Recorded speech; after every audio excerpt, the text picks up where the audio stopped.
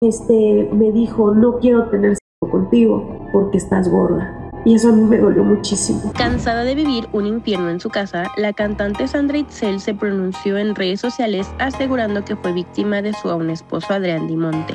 Los señalamientos hacia el actor cubano es de infidelidad y violencia contra quien estuvo casado durante 10 años. Según Itzel, su esposo a lo largo de su matrimonio empezó a desarrollar conductas como ataques de ira, además de haberle sido infiel en múltiples ocasiones. Decide que ya, ya no trabaje, seguimos la vida, pues ya deja a esa mujer a la, con, la que, con la que estaba, la termina. Y me acuerdo que un día estando en Los Ángeles, yo subí un poquito de peso porque estaba tomando pastillas anticonceptivas. Y entonces un día en, el regreso de uno de sus viajes, este me dijo, no quiero tener sexo contigo porque estás gorda. Según las redes sociales de Sandra, ambos habían llegado a un acuerdo para llevar en paz su divorcio.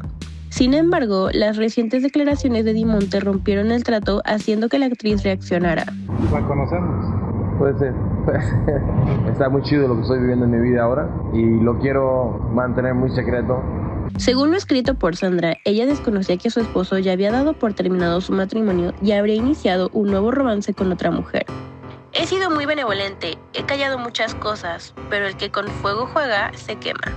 Después de ver esta entrevista tan cobarde, dando información de la que yo no estaba enterada y a la cual no se me pidió autorización, llegó el momento de hablar con la verdad. Ahora soy la chava, la mujer que lo apoyó, que le hizo creer, que lo cuidó durante 10 años. ¿Mereces cosas buenas después de abusar psicológicamente de mí durante años? No se puede ser feliz sobre las lágrimas de los demás. Tener una relación cuando estás aún casado es correcto, es que de verdad no estoy entendiendo nada.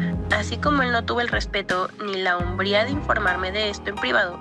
A continuación haré en vivo. Muchas gracias a mis fans por enviarme esta entrevista. Voy a estar subiendo todas las pruebas que tengo porque a mí la verdad me respalda y si lo comparto no es por ardida o porque me pusieron los cuernos o porque no le quise dar un bebé. Lo hago porque ya no me voy a callar para cuidarlo y protegerlo como siempre lo hice. Y si él no tuvo respeto a nuestros acuerdos en privado y exponerme de esta manera tan cobarde, entonces yo voy a hablar de lo que es la realidad. Lo cierto es que sabes con quién te casas, más no de quién te divorcias. Pero bueno, en otros temas te cuento, Daniel Bisoño defiende a Luis de Llano dándole la espalda a Sasha. Así que si te lo perdiste, aquí te lo cuento todo. Música